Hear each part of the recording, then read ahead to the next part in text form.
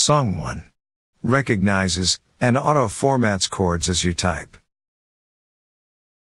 Chords do not have to be enclosed in square brackets to be distinguished from the lyrics.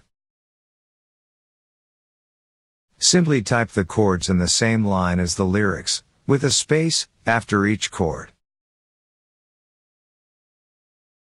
Added chords can be selected with a long tap and repositioned via drag and drop.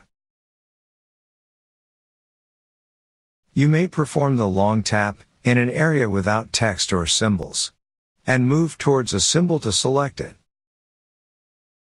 To reposition the selected chord, perform a second long tap and release the tap once you have moved the cursor to the desired position. Chords and lyrics are auto-spaced when needed.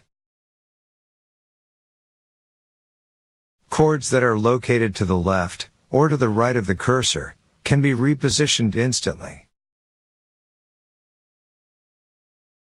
A selected chord may also be removed by pressing the delete key of your keyboard. On iOS, you may press on the spacebar and reposition the cursor by moving your finger in the desired direction.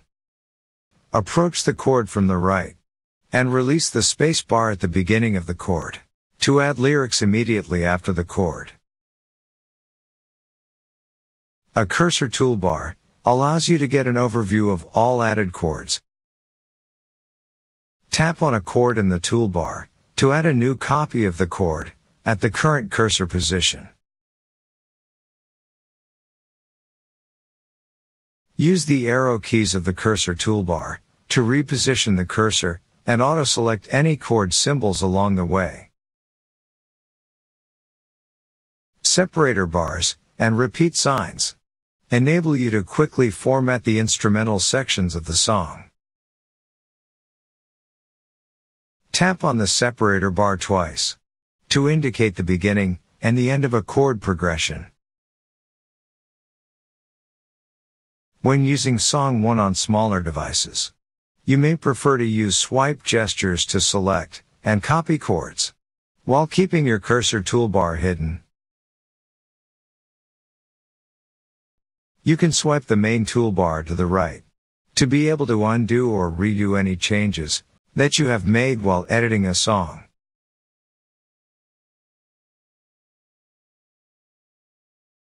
A selected chord can easily be changed into a different chord with the help of Song One's chord matrix.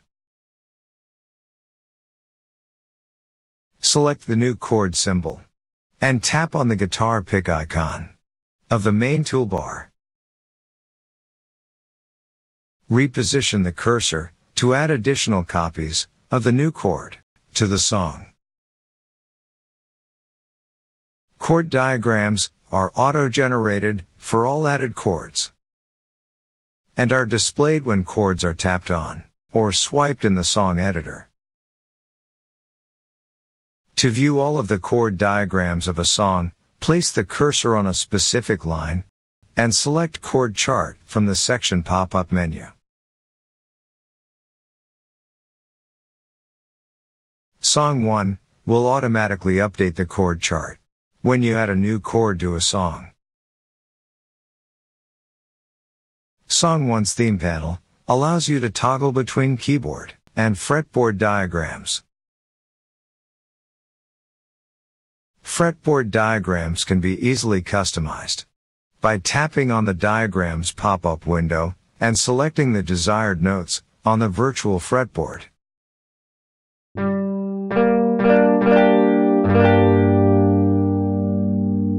Tap on the switch icon in the left corner of the pop-up window to update the diagram of the song. Perform a long tap to also update the default chord diagrams to be used on all other songs. You can quickly change the format of all of the song's chord diagrams by making a selection from the instrument pop-up menu. Select Custom to freely specify the number of strings and their tuning. All customized chord voicings are automatically recalled after reselecting the original instrument. The chord diagrams are automatically updated when transposing the song to a different key. Keyboard diagrams can be customized by engaging the sustain pedal and tapping on the desired keys. Song One will display all possible chord candidates for the selected notes. Tap on the appropriate chord symbol and tap on the switch icon to update the chord diagram of the song.